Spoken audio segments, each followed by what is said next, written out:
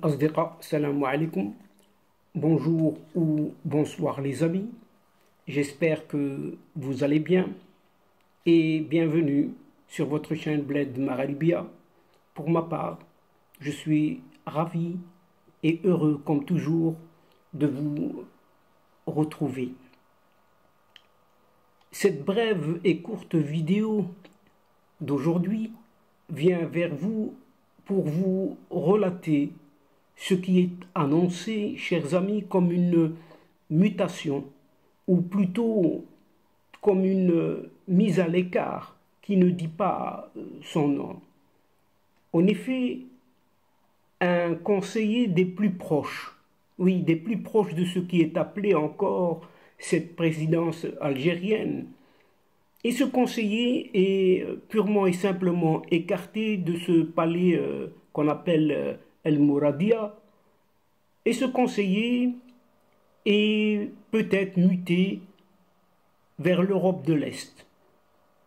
Et ainsi, euh, chers amis, pour les non-initiés en tout cas, ou plutôt les non-informés de ces dessous de cartes concernant les hommes de l'ombre qui travaillent dans l'ombre, exerçant dans certaines chaumières, chaumières du pouvoir euh, algérien, il s'agit euh, nommément d'un certain Abdelhafid euh, Alahoum. Abdelhafid Alahoum est le plus anti-marocain des conseillers de son président athée.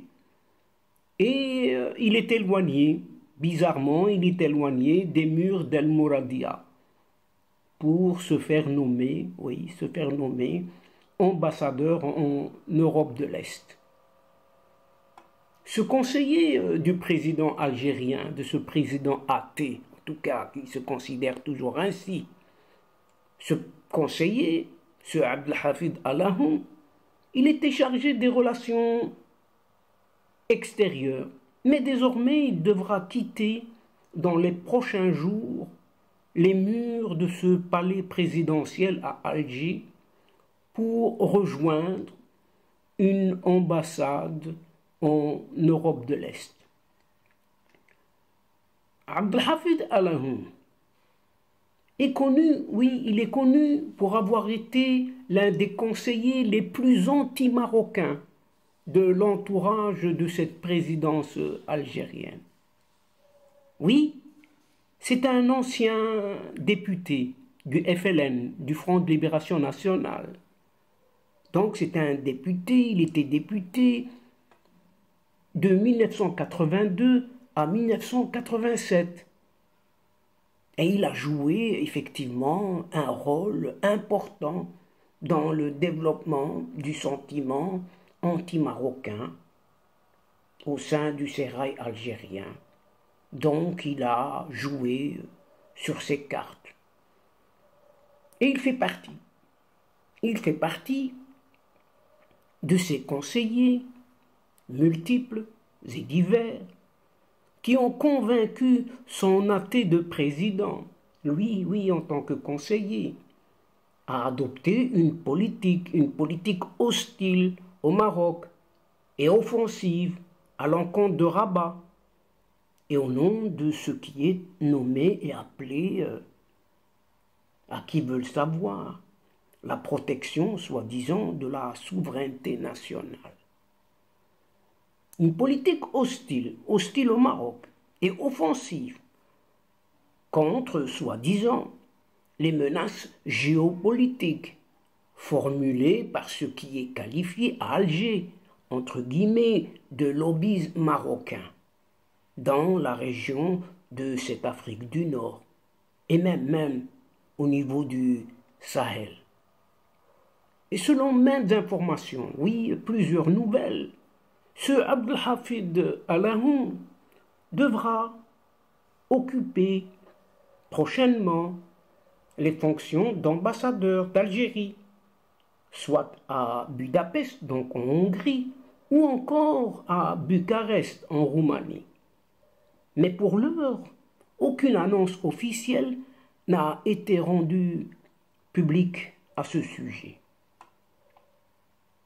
Cependant, le départ de ce Abdelhafid Alahoum de la présidence algérienne est définitivement acté et s'explique par l'implication de ce conseiller dans divers scandales, oui, dans plusieurs scandales d'abus de pouvoir, d'ingérence intempestive dans des dossiers très délicats de l'État algérien.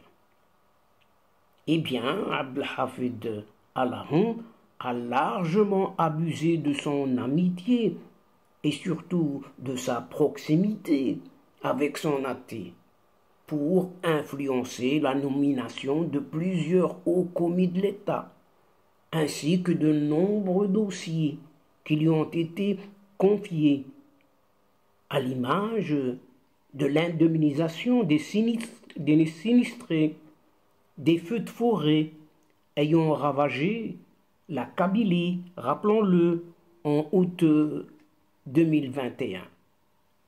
Tous ces importants dossiers ont été expéditivement bâclés, suscitant ainsi véritablement un mécontentement sans précédent au palais présidentiel d'El Mourdia. Paraît-il, paraît-il. Donc, chers amis, il faut également savoir et signaler aussi que ce conseiller Abdelhafid Alahoum n'est autre que le petit frère d'un autre Alahoum, Alahoum Abdelmajid. Et ce Abdelmajid Alahoum, qui est-il? C'est un autre poids lourd du régime algérien qui a été secrétaire général de la présidence algérienne à la fin des années 70, ainsi qu'ambassadeur, ambassadeur d'Algérie, vous savez où? Eh bien à Rabat au début des années 90. Euh, Quant au petit euh, frangin, pour revenir à lui, puisqu'il s'agit de lui dans cette vidéo, Abdelhafid Alahoun, il doit essentiellement son ascension fulgurante au plus haut sommet du pouvoir algérien.